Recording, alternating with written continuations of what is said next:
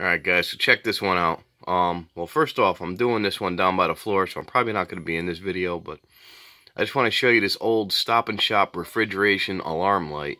These were, uh, I remember when I was a kid in the 80s, they had these lights outside of Stop and Shop hanging up by the ceiling out front. And uh, it was before internet and all those days when I guess a cop would drive by or somebody would drive by and see the light going off, like spinning, turning on. And that would tell them that there was a refrigeration alarm going off. And then whoever saw the light would contact the necessary people. They would come down and look at it and make sure they didn't lose all their product. But those days are long since gone with the internet and all that stuff now. Now people just get electronic messages. You know, these, these days are long gone. Now, not exactly sure what era this one is from. This was actually, my dad had gotten this, and it was in my parents' basement in the 70s, so it was probably the 50s or 60s that this thing was actually being used as a refrigeration alarm. But uh, it does still work. I got it wired up, as you can see with an extension cord here. I'm going to plug it in in a minute and show you. But I want to get a lens cover for it. I think they used to have yellow lens covers on them. I can't remember. They were yellow or red. But like I said, I remember as a kid seeing these things revolving outside of Stop and Shops. But it's, uh, you know, it's Runs on house power, house current, 110, 120, whatever it is, and it's just wired up. Cheap. It's got that little electric motor in there, and uh, it does work. It's a little banged up. You can see there's a big dent in the side here, and yeah, there's a couple different holes and things.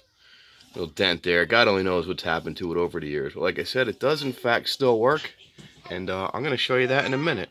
Don't mind that. My son in the background. He's watching cartoons, but it's Sunday morning. He's getting antsy, and he wants to go outside. So let me show you this light real quick with it uh, operating and, uh, excuse me, we'll go from there. Yep, see, I'm going to plug it in right there. Oh, here he comes. Let me see what he wants. It's a light, buddy. I'm showing the people the light. You want to see it? All right, he wants to see it too. Hang on, guys. And there it is in operation. It's hard to see, but let's uh let's go ahead and hit the light switch. Show you guys. Hold on. There it goes. a little better view of it. Still kind of light down here, so but that's what it used to look like. These things used to hang upside down up by the up by the roof. You stay away, buddy. We're showing the people the light because it's really cool. I want to get a lens cover for it though. That'll be nice. And then, yeah, we're gonna mount it somewhere. In a few minutes, buddy. We're showing the people the light. See? Isn't it cool? See? But yeah, I want to mount this thing up on the ceiling and get it working good. Maybe mount it up with a switch or something. But that's it. I just wanted to show you guys this light. Um, it's just pretty neat. I like to save old stuff, and this is something old, so we will use this. We'll display it. Like I said, I'll probably hang it up on the ceiling or something, make it like a little party light. But it's just pretty neat to have. One of those things that I collected that I really have no use for, but I really like.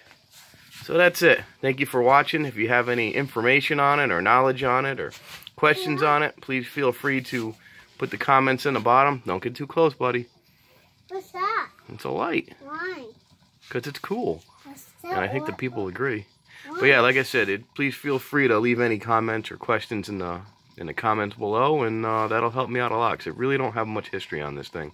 Thank you for watching, and stay tuned. There's more old stuff that's coming up, really cool stuff. So subscribe, like, and I'll just keep posting this stuff, and you guys can keep enjoying. Have a great day.